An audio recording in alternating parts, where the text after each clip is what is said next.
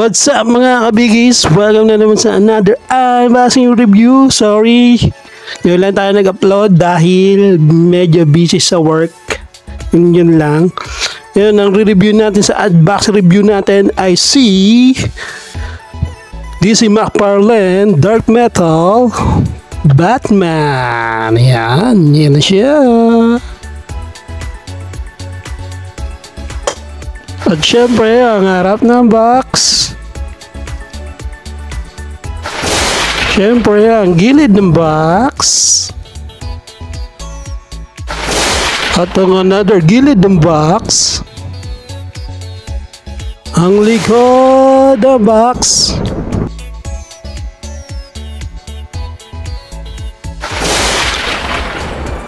At ang ilalim ng box. Ang itaas ng box.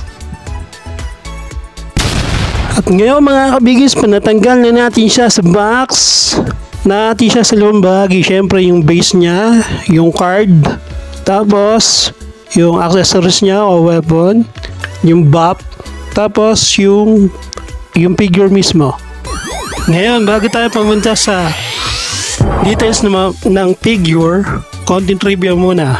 Alam niyo ba ang first appearance ni Batman ay sa comics ay noong 1939 pa? Yun lang.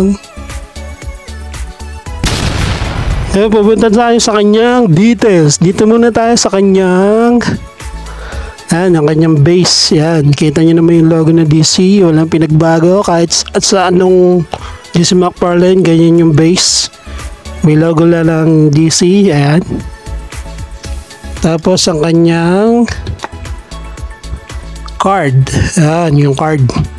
Tapos sa likod ay makikita nyo yung yan, about sa kanya, yung info niya about dun sa series na to yung height niya tsaka weight yan at sumunod ang kanyang ang kanyang weapon or kanyang guitar yan, ganyan yung details niya yan oh ang ganda, di ba? Sight na gitara. Yan. Siya ay made of rubber. Soft rubber. Yan. Soft rubber. Ngayon naman tayo sa details si Batman. Ang, ayan ang kanyang mukha. Ayan. Tapos yung kanyang clothes. Ayan ang ganda. Tapos yung utility belt niya may ano pa? May bumubungo na may chain. Ayan soft chain tapos yung trench coat niya ang ganda din oh. di ba? Soft rubber din. Tapos itong ano mga mga spike niya rockistang rockist talaga si Batman dito ah. Yan tapos dito pa. Pre dito. Ooh. tapos yung sa likod. Yung pinaka yan, grabe yung details ng ano figure na to ngayon, susukatin na natin si Dark Metal Batman. Ito na, may Waga Metro. Ang kanyang sukat ay 7.6 inches. Ayan. Ayan, size comparison natin siya sa latest review natin na si Deadpool ng Sadie Toys.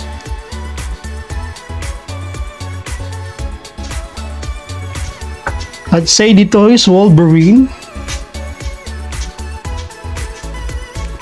Yan. At syempre ang kasama ni Batman sa series na to ay si Dark Metal, Wonder Woman, Dark Metal, Superman,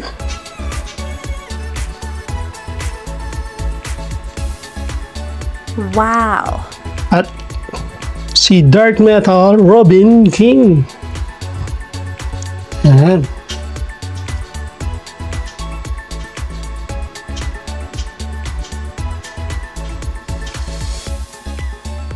Yan, sa wakas, kumpleto na natin yung apat na figure.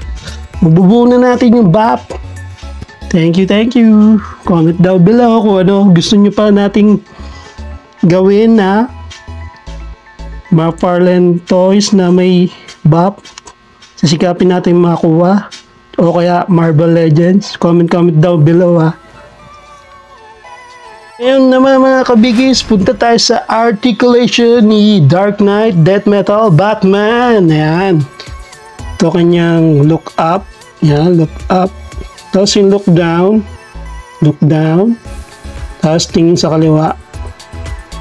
Tingin sa kanan. Tapos ang kanyang sideward. Sideward. Ayan. Ito, nabebend din dito. Yan. Tapos, ito, pwede nyo to iikot.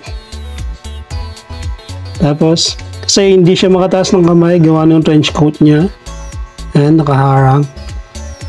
Pwede rin namang ganito lang yung sagad sa sa likod na articulation sa harap. Ganyan. Tapos, hindi natin masagid yung ikot. No? Diba? Tapos sa kanyang ab crunch.